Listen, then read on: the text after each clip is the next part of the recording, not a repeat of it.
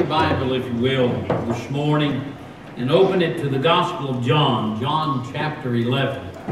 John chapter 11, I hope you have your Bible and you'll follow along with us as we read the scriptures. And we're pretty much just going to focus right here this morning. John chapter 11, if you will, and uh, verse 45 is where we're going to begin reading. So, John chapter 11, if you will, verse 45. I'll give you time. I like to hear those pages turning, you know. But if it goes on too long, maybe not. So, I heard a preacher one time say, if you haven't found it by now, just look intelligently at whatever page you're at. but I, I wouldn't say that to you. John 11, verse 45. The Bible said that many of the Jews which came to Mary and had seen the things which Jesus did believed on him. But some of them went their ways to the Pharisees and told them what things Jesus had done. Then gathered the chief priests and the Pharisees a council and said, What do we? For this man doeth many miracles. If we let him thus alone, all men will believe on him, and the Romans shall come and take away both our place and nation. And one of them, named Caiaphas, being the high priest that same year, said unto them, Ye know nothing at all nor consider that it is expedient for us that one man should die for the people, and that the whole nation perish not.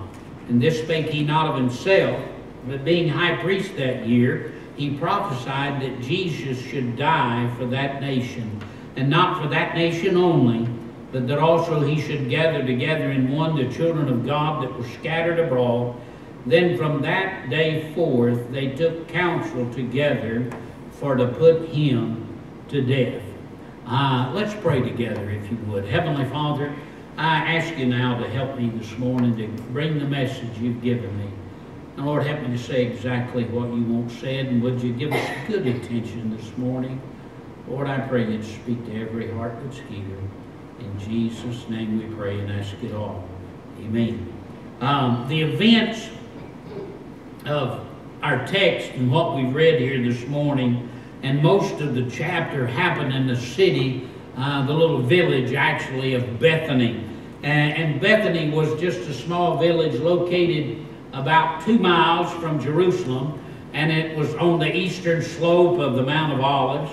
And uh, it's frequently mentioned in the scriptures in, in relation to many memorable events that uh, are in the life and the ministry of the Lord Jesus Christ. And one thing I found interesting about Bethany and about that village is the meaning of its name. There's a little disagreement over what the word Bethany means, and some say it means house of dates. And they say that's derived from the many palm trees that are in the area, but others claim that it means a house of misery. Well, I, one thing's for sure. On the day of this recorded uh, incidents that are here today, it wasn't house of misery on that day. Because it's on that day uh, that we find that Lazarus, who had been dead for four days, and had two sisters, they were mourning his death, but it's on that day the Lord Jesus Christ resurrected him from the dead. And that one who had been dead was made to live again. And man, you talking about rejoicing and uh, excitement. Uh, it was that way. Nothing remotely close had ever happened in Bethany uh, before, and nothing has ever happened like that since then in this world, all right? But I want you to notice, though, especially this morning, the two different reactions that there were to the events of that day, all right? Would you look in your Bible, verse 45, all right? Verse 45 that says, Many, all right, Many of the Jews which came to Mary and had seen the things which Jesus did, many of them believed on him. That was the reaction of many. But I want you to notice verse 46. But some of them, some of them went their ways to the Pharisees and told them what things Jesus had done. Many of them believed, but some of them went their way. All right? some of them went their way. I want to speak to you this morning on the subject of going your way. Going your way. Uh, you know, the Bible says in Proverbs chapter 14 and verse 12, there is a way which seemeth right unto a man, but the end thereof are the ways of death. There is a way that seems right unto man, but the end, the Bible says, the ways of death. Um, I, am looking at these scriptures this morning, and I'm thinking about what had happened in Bethany. Uh, these people had seen the Savior of the world in person. They had been there. They had heard him call Lazarus to come forth from the grave after the stone had been rolled away. They had heard that. They had seen that. They knew Lazarus had died. These were not strangers in the area. These were not folks that had come in and asking, What's going on? What's going on? No, they were people that were there. They knew the circumstances. They knew about the death of Lazarus. They had been there when Jesus said, Roll the stone away. They had heard Martha say, Lord, don't do that. He's been dead four days. He stinks. But they'd seen the stone rolled away, and they'd heard Jesus call his name, call him forth out of that grave, and they'd seen Lazarus come out. Now, I'm here to tell you, they'd seen what's going on, all right? They could have believed. They could have believed. But instead, the Bible said they went their ways. They went their ways. They chose a different way. Listen, they chose a way of tradition. They chose the way of tradition. They chose the way of religion. Say, well, preacher, aren't you religious? Nah, I really don't really like the word religion too much. Uh, it's not religion that I preach to you this morning. It's a relationship with the Lord Jesus Christ. And there is a huge, huge difference between the two. A lot of people got religion. These folks here that went their way, they chose the way of religion. They chose the way, if you will, of peer pressure. They chose the way of stubbornness. We're just not going to accept this man, Jesus. We're just not going to do it. Now, I want to talk to you about their way, all right? Going their way, but it's also going the way a lot of folks go today. First of all, I want you to see this. It's the way of rejection. It is the way of rejection. Now, notice. Notice what they said in verse 47 verse 47, the, the last phrase there in verse 47 is kind of entertaining to me. Notice what the Bible says, For this man doeth many miracles. No kidding? Really? That's one of those statements that today we'd say, well, duh, all right? Yeah, he did a lot of miracles. He, he had done some amazing things, but wait a minute. They rejected it. They rejected it. Uh, this is the one that, you know, had, had, turned the water into wine. This is the one that had fed the 5,000 one sack lunch. This is the one that had healed a man who had been lame for 38 years. This is the one that they had been there and saw him raise Lazarus from the dead. And, and all of that. He'd done a lot of miracles. But wait a minute, they rejected the truth. They rejected him. They didn't want the one that brought life. They didn't want him, all right? They rejected his light, if you will, in favor of the darkness that they lived in and the hopelessness that they lived in. They rejected him. And that was their way. I'll be honest, I've seen a lot of people do the same thing.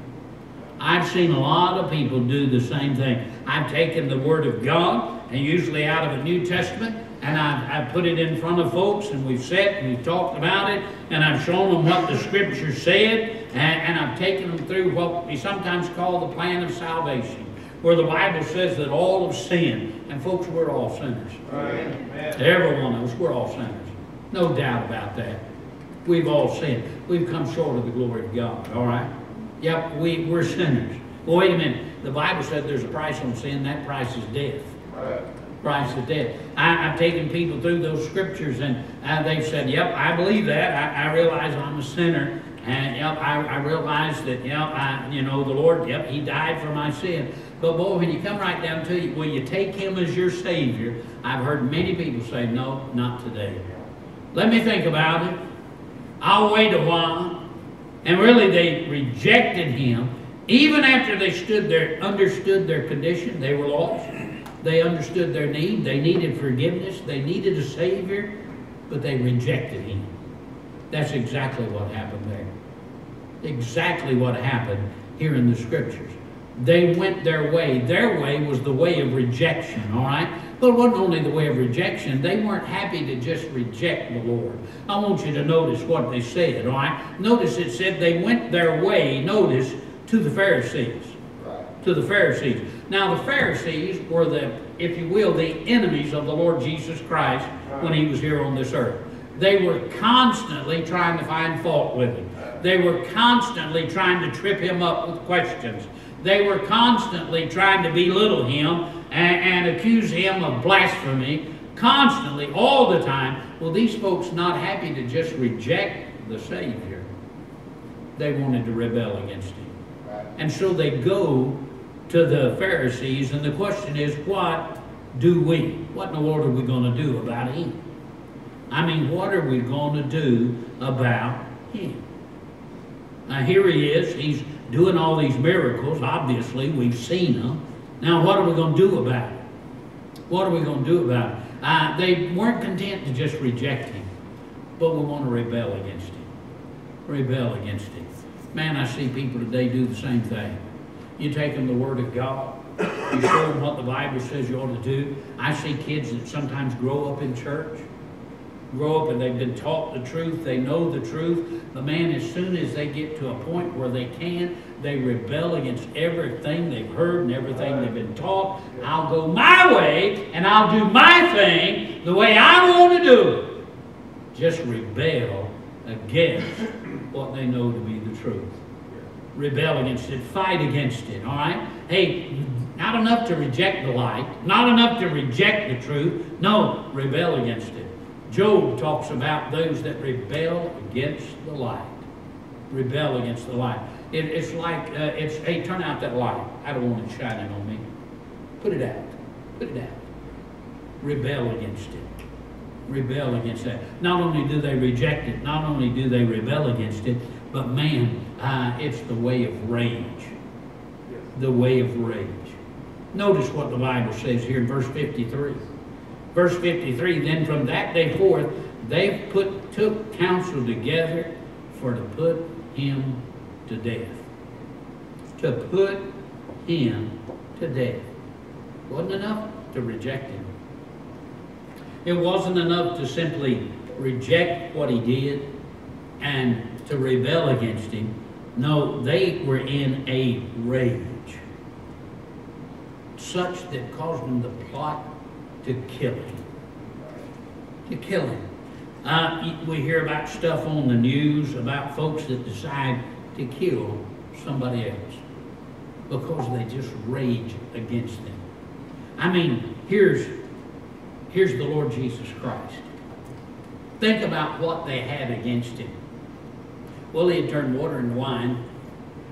And you know what? He, he probably didn't uh, probably didn't really check out the sanitation of those jugs that they put it in. So there's a problem, right?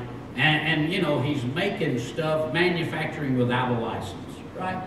He's manufacturing without a license, and therefore we lose the tax money on that, and, and so we're going to rail against that. And then, uh, then we stop to think about the time that he took clay and spittle and he put it on that fellow's eyes and said, Go wash under in the pool of Siloam. Can you imagine how unsanitary that is? So the health department is upset with him. I mean, here's the health department. They're in a rage. This guy doesn't care about sanitation. And uh, I, I can't believe he would do such a thing. But not only that, here he is in uh, down there at the pool of Siloam with that man who's been lame for 38 years, and he's practicing medicine without a license. How dare him? Say, preacher, that's the craziest thing I ever heard. Well, wait a minute. What else were they mad about? What else inflamed their rage so much? Well, he, he resurrected Lazarus from the dead. I mean, he's causing people to doubt every mortician in the country. You said, Preacher, you're nuts. I just tell you, I don't understand why they were upset. Why rage against him say we got to kill him? We've got to put a stop to what he's doing. And we've got to stop what's going on. And we have to kill him, let's kill him. Rage. I'll be honest, I, I believe today the rage of the unbeliever is aimed oftentimes at the work of God. That is aimed at the work of God. Uh, people today will do everything they can to stop you from witnessing. Stop you from witnessing. Uh, folks have gone and, you know, here in our country, we're, we celebrate the fact that we have free speech.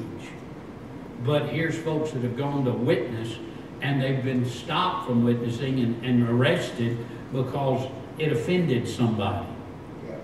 It offended somebody. I was visiting yesterday and talking with a couple that has visited our church, and they said we'll sometimes go down to Sundance Square and just sit around, you know, enjoy and watch people and do that. And she said there's two guys that come, one on Friday and one on Saturday evening, and they'll stand there and they'll preach. And, and they told me, they said the rage that is against them is unbelievable. Right. Said people have spit on them, people have mocked them and belittled them and, you know, everything. And uh, they, they, I said, well, you know what? That's the rage of the unbeliever today. Stop the witness. Stop the witness for the Lord Jesus Christ. Don't allow anybody to do that. We were knocking doors in an apartment complex, a couple years ago now, and I had somebody say, when we knocked on their door, they said, well, you can't do that here. And I said, okay. He said, you argue with them? No. I just tried to witness to them. He said, well, they didn't listen. What'd you do? Well, we went to the next door. And they said, well, somebody will be here pretty quick to put a stop to you. Said, what'd you do? Well, I was going to witness until somebody showed up, all right? And you know what? Nobody ever showed up. Nobody ever showed up. Um, but we have the idea that, hey, we can stop that. A lot of rage directed against the work of God today. Uh, that rage takes the form sometimes, hey, we'll take away your tax exempt status. We'll remove that from them. We'll zone them out with building codes where they can't build, all right? They can't put up a church building. They will criticize them. We'll carp at them. We'll condemn them. We'll belittle them. We'll berate them. We'll do everything we can. Why? There's that rage against the work of God. Rage against the work of God. It's still there, folks. It's still there. It's still come. All done. All done to discourage the believer from you doing what you should and carrying out your service to the wonderful Lord Jesus Christ that died to save you. They're doing everything they can to stop you. All of that rage, pin up. We need to put stop. How dare them do that? How dare they? Uh, it's amazing. Why? Well, they raged against him. Hey, listen, they went their ways. They went their ways. It was a way of rejection. It was a way of rebellion. It was the way of rage. But look at verse 48. Maybe this is the crux of it, all right? Maybe this is the crux of it. Look at verse 48. If we let them thus alone, all men will believe on him, and the Romans shall come and take away both our place and nation. Hey, we'll lose our place. We'll lose our place. You know, I stopped and thinking about that, and I was reading through the scriptures, and I think, hey, wait a minute. They thought they'd lose their place, as if their place was more important than the work and the will of God. Hey, my place is not more important than the work and the will of God.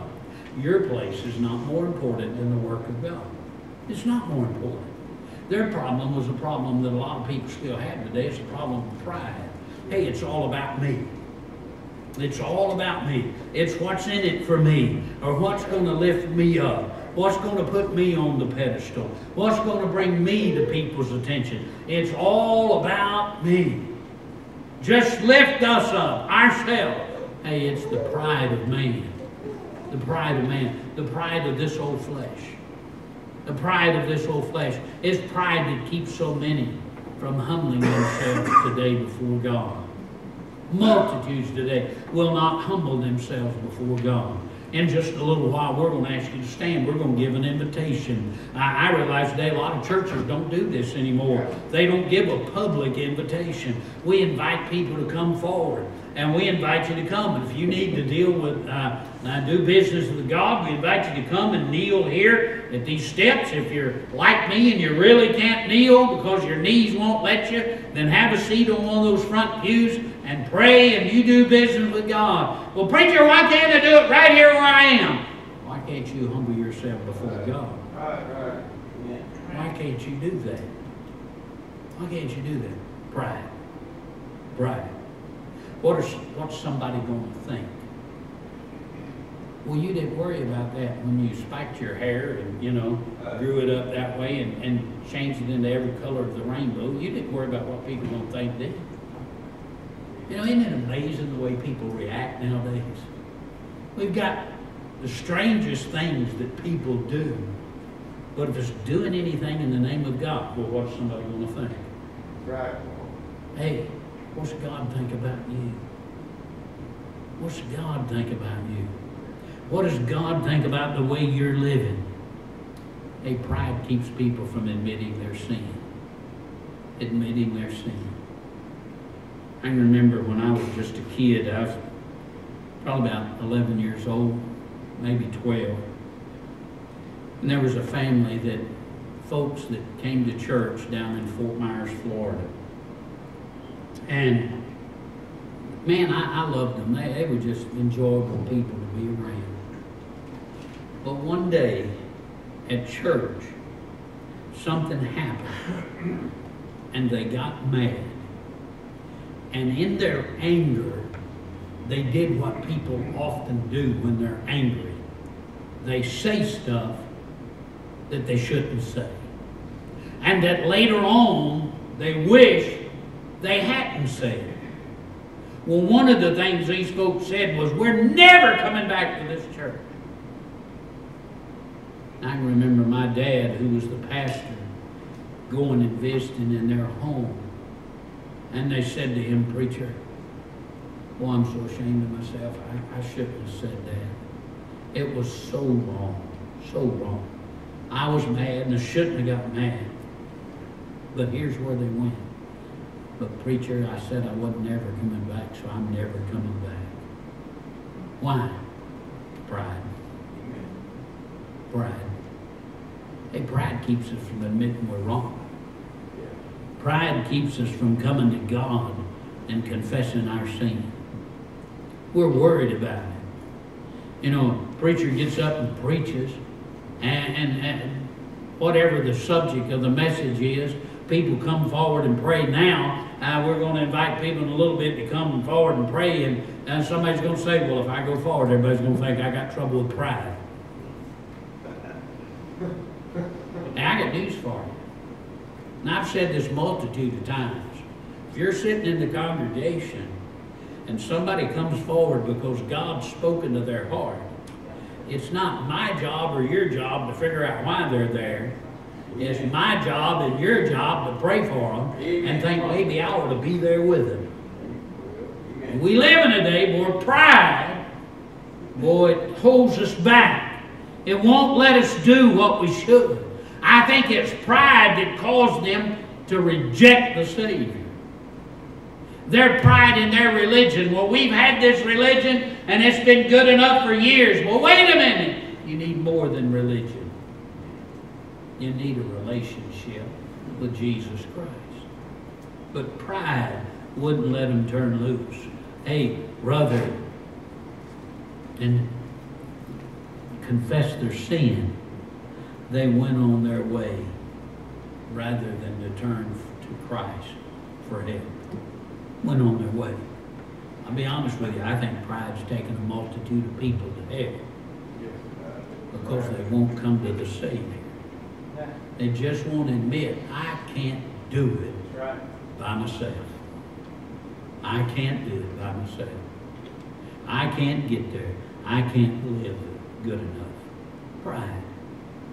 Hey, pride caused them to rebel.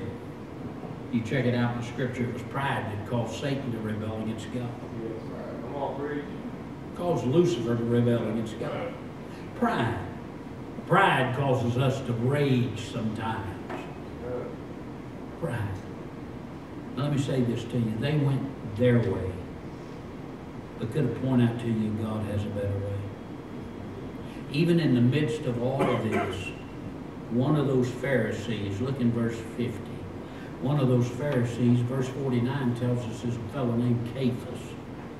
One of those Pharisees said, You know nothing at all, nor considered that it is expedient for us that one man should die for the people, and that the whole nation perish. Hey, the Bible said this he spake not of himself, but hey, he was prophesying that Jesus should die for the nation. Listen, God has a better plan. God has a better way for you than your way. It's a better way to go. It's not the way of rejection, it's the way of acceptance. It's the way of accepting Jesus Christ as the only payment for sin. The only payment for sin. Nobody else could pay that payment, but he could because he lived a perfect life. Hey, his way is the way not of rebellion. No, it's the way of giving in and following and serving. It's not the way of rage. It's the way of, Lord, here am I, which you save me? It's the way of the just dying for the unjust. That's his way. That's his way. It's not our way. It's not the way we choose, but it's the way he chose. Now, I'll tell you, he didn't have to do it. Take your Bible, if will, over to Hebrews chapter 2. Hebrews chapter 2, would you? Hebrews chapter 2 and verse 9. I want you to see what the scripture says, all right? See what the Word of God says. Hebrews chapter 2, verse 9. The Bible says, but we see Jesus. Hey, they saw Jesus too. They saw him in the flesh.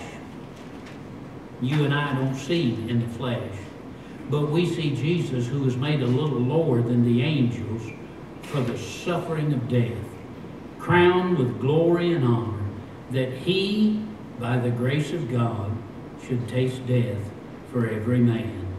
Well, I'm going to tell you what, that way, the way of God is sufficient for everybody today. It's sufficient.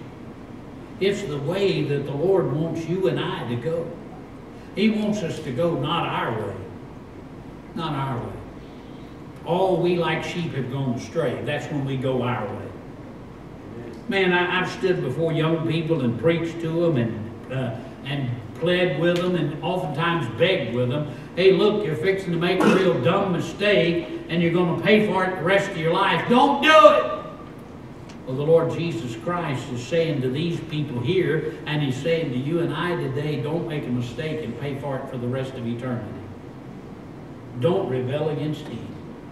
Don't reject the Savior. Don't reject Him. Don't rage against Him. Take Him. Hey, it's expedient that one man should die.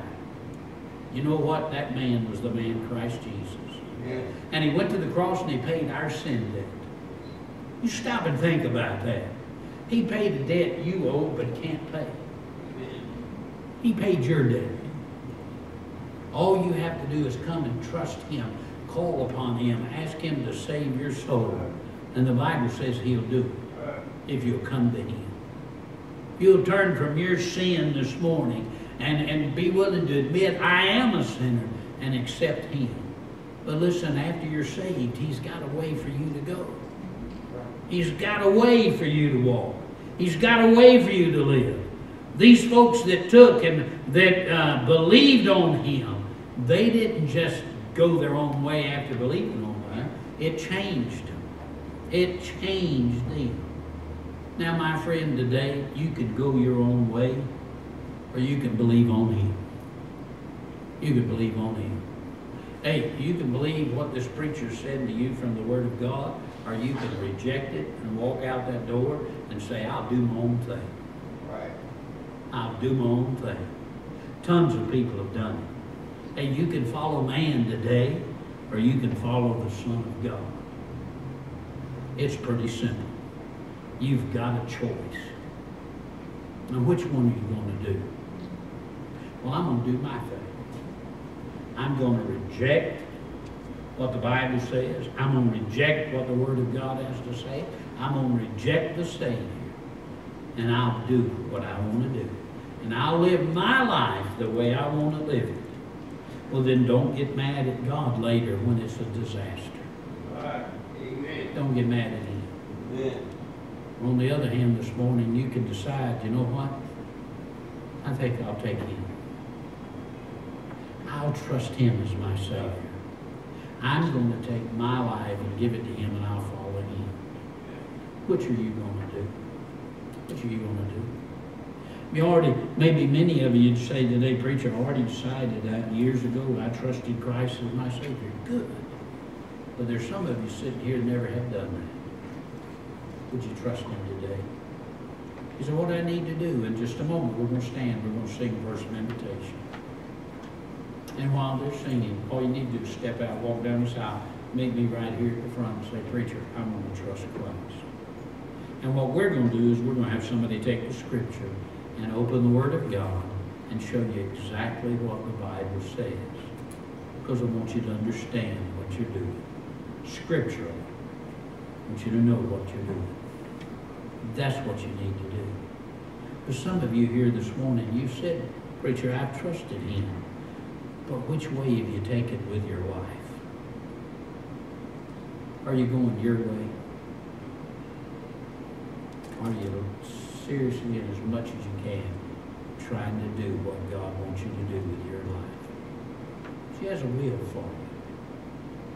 The Bible said they went their way. They went their ways. What are you doing? Heavenly Father, Lord, I ask you this morning to help us. Lord, we need to hear from you.